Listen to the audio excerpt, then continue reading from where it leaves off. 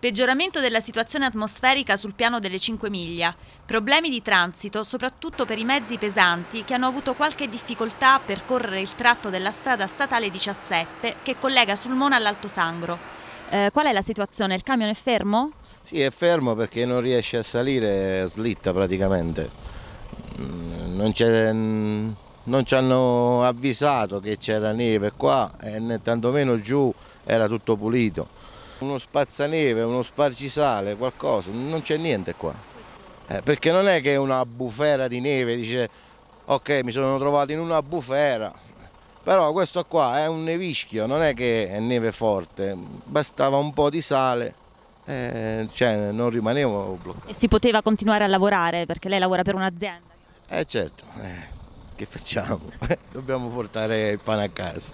Siete fermi sulla strada, da dove venite? Da Sora. E avete trovato difficoltà in che tratto da Sora qui?